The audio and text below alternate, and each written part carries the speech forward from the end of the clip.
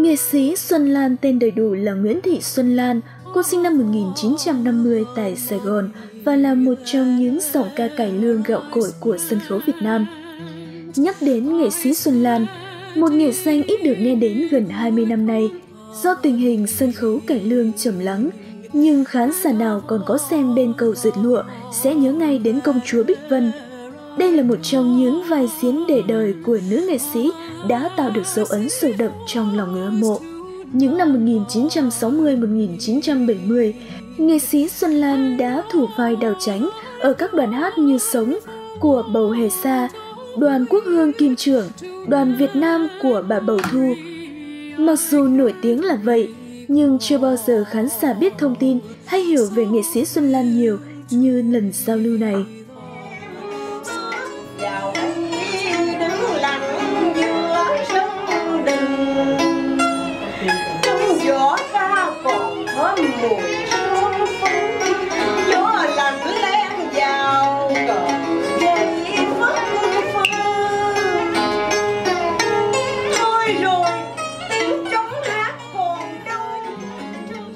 Nghệ sĩ Xuân Lan xuất thân từ vùng đất miền Tây, Trà Vinh và cha mẹ sống ở quận 8. Cô cho mình là con nhà khán giả chứ không phải là con nhà nòi bởi gia đình không có ai theo nghệ thuật. Thế nhưng, cha của nghệ sĩ Xuân Lan lại là người đam mê cải lương nên đã gieo niềm đam mê đó vào tâm hồn con gái của mình bằng cách dẫn con đi xem hát. Ông ước ao có được một người con như Bo Bo Hoàng và hâm mộ các nghệ sĩ tiền bối như Út Trà Ôn, Hoàng Giang vân vân. Trên sân khấu thủ đô, những ngày sau đó, Xuân Lan lại thần tượng nữ nghệ sĩ Ngọc Hương, người đã đem niềm đam mê nghệ thuật của cô lớn dần. Trong một lần tình cờ, nghệ sĩ Xuân Lan được giới thiệu đến sư phụ của nghệ sĩ Minh Vương là nhạc sĩ Bể Trạch, trưởng ban cổ nhạc đoàn hát Kim Trung để học, nhưng cả hai lại thuộc dạng nghèo rất mồm tơi nhất, nên thầy thương tình dạy dùm luôn. Rồi cả hai cùng nhau tham gia thi cuộc thi Giải Khôi Nguyên Vọng Cổ năm 1964 và đoạt giải. Nghệ sĩ Xuân Lan về ba và được ông bầu Hoàng Mật ký hợp đồng mời về hát cho đoàn Kiên Giang. Còn nghệ sĩ Minh Vương thì về đoàn Kim Trung nơi có nhiều soạn giả thường trực và có rất nhiều tuồng mới. Đó là cơ hội tốt để cho Minh Vương phát triển nghệ thuật ca diễn, giúp anh trở thành tài danh sáng chói như ngày hôm nay.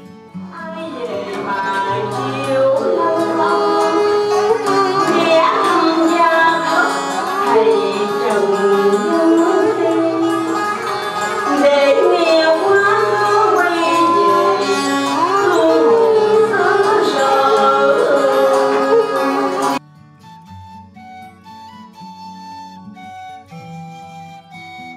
khi đoạt hạng 3 giải Khôi Nguyên Vọng Cổ, Xuân Lan hát cho đoàn Kiên Giang, thường lưu diễn ở các tỉnh miền Hậu Giang, ít được báo chí kịch trường Sài Gòn biết đến, nên cô không được nhiều may mắn như hai bạn Minh Vương của đoàn Kim Trung và Diệu Nga của đoàn Thanh Minh Thanh Nga.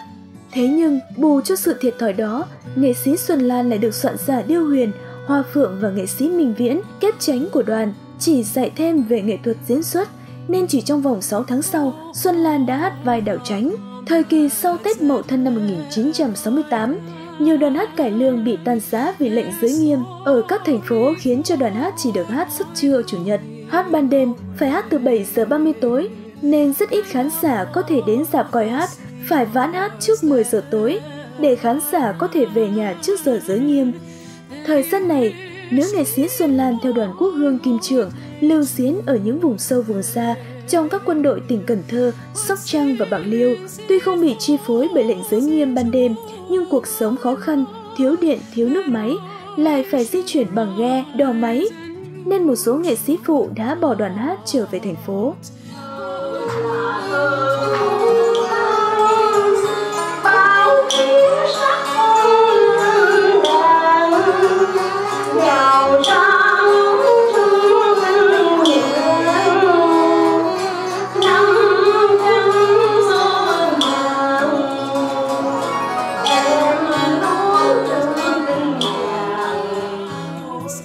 Diễn viên phụ thì khó khăn vất vả mà bỏ đoàn, nhưng nhờ trước đây nghệ sĩ Xuân Lan có theo phụ huấn với soạn giả Điêu Huyền để học viết tuồng, học sáng tác các bài ca lẻ, nên khi mất một vài diễn viên phụ, cô có thể chỉnh sửa tuồng lại, nên đoàn hát vẫn hát được. Năm 1972, Xuân Lan hát cho đoàn Việt Nam của bà Bầu Thu, cô từng hát cặp kép tránh với Tấn An ở đoàn hát Kiên Giang, Kim Trưởng, nên khi cùng về hát chung sân khấu đoàn Việt Nam, Xuân Lan và Tấn Anh chính thức tổ chức hôn lễ.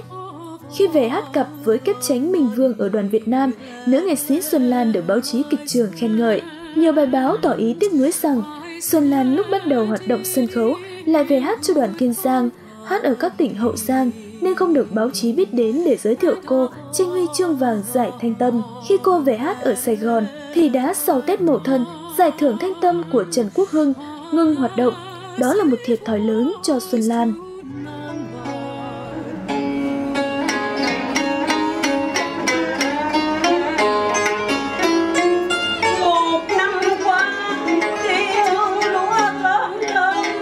Sau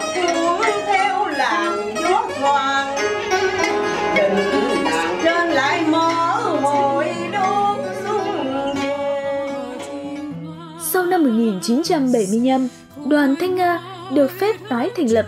Sau hai tuồng tấm lòng của biển và tiếng trống mê linh, tuồng bên cầu dệt lụa đã thu hút rất đông khán giả. Nữ nghệ sĩ Thanh Nga trong vai cô gái dệt lụa Quỳnh Nga, nữ nghệ sĩ Bạch Lê vào vai công chúa Bích Vân, Văn Nga vai trọng tướng, Chí Hiếu vai quan huyện vân vân. Tuồng bên cầu dệt lụa với thành phần nghệ sĩ như trên, hát rất ăn khách tại Sài Gòn và các tỉnh, bỗng nhiên cô Bạch Lê xin nghỉ về để hát cho đoàn tuồng cổ Huỳnh Long, hát cặp với nghệ sĩ Thành Bạch, chồng của Bạch Lê, kép tránh của đoàn Huỳnh Long. Đoàn hát phải kiếm mời một nữ nghệ sĩ thế vai Bạch Lê, nên soạn giả và một số nghệ sĩ kỳ cựu của đoàn Thanh Minh Thanh Nga hiện đang giúp việc cho đoàn hát Thanh Nga nhất loạt đề cử với bà bầu thơ xin mời nữ nghệ sĩ Xuân Lan thay cho Bạch Lê.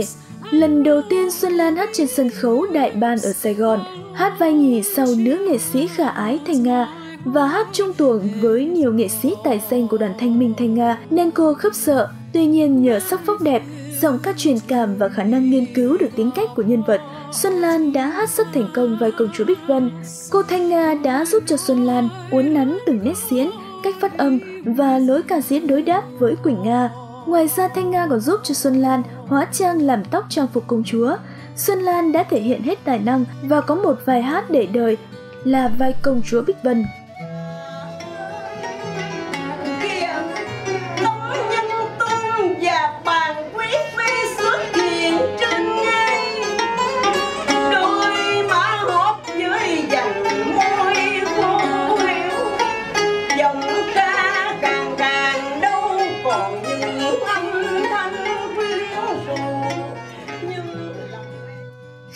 Hoàng Thái hậu Dương Vân Nga, Xuân Lan đóng vai hiệu úy Kỳ Hoa. Cô đã hát mạnh bạo, oai súng theo đúng tính cách của nhân vật. Xuân Lan nói, người thầy dạy đầu tiên của Xuân Lan là nhạc sư Bạch Trạch, soạn giả Điêu Huyền, Hoa Phượng và nghệ sĩ Minh Viễn. Nhưng người thầy đã đưa Xuân Lan đến với những bước vinh quang của nghề hát chính là chị Thanh Nga, minh sư và là thần tượng của Xuân Lan. Chọn đời Xuân Lan không bao giờ quên ơn các bậc thầy đã dìu dắt Xuân Lan vào nghề. Sau khi Thanh Nga mất, hai vợ chồng của nghệ sĩ Xuân Lan và Tấn An đã rời đoàn hát Thanh Nga vào quận 6 xin phép thành lập đoàn hát Cải Lương dưới sự quản chế của Phòng Văn hóa Thông tin của quận. Khi đoàn hát của Xuân Lan và Tấn Anh đã phát triển, thu được nhiều doanh thu, mỗi suất hát thì quận tịch thu đoàn hát dưới danh nghĩa là tập thể hóa đoàn hát, cán bộ của quận xuống làm trưởng đoàn và toàn quyền thu chi hay chọn tuồng hát. Hai vợ chồng Xuân Lan Tấn Anh trắng tay về nhà chờ thời cơ, Xuân Lan và Tấn Anh dù tha thiết với nghề ca diễn sân khấu, nhưng biết rằng tình hình hiện tại không thể có tự do trong mọi sinh hoạt, hoạt động nhất là về mọi mặt của văn hóa, nghệ thuật tuyên truyền. Vì để sinh sống, Xuân Lan và Tấn Anh hành nghề mua bán bảo hiểm, dựa vào một cơ sở bảo hiểm quan trọng của quận. Về tài chính, hai vợ chồng Xuân Lan có một cuộc sống ổn định, hai người nhớ về nghề hát nên thường xuyên giúp cho các nghệ sĩ trong viện dưỡng lão nghệ sĩ hoặc giúp cho các nghệ sĩ nghèo yếu neo đơn theo lời giới thiệu của hội nghệ sĩ. Có thể thấy, tuy đậu hạng 3 giải Khôi Nguyên Vọng Cổ năm 1964, nhưng nghệ sĩ Xuân Lan lại gặp hoàn cảnh không thuận lợi khi ở các tỉnh nhỏ. Cuộc đời của nghệ sĩ Xuân Lan được xem là một tấm gương phấn đấu không ngừng của một nghệ sĩ kém may mắn vì không có thời cơ như các nghệ sĩ đàn anh, nhưng nhờ sự phấn đấu trong học hỏi và sự tự lực tự cường trong cuộc sống mà hai vợ chồng nghệ sĩ Xuân Lan và Tấn Anh đã thành đạt trong đường đời.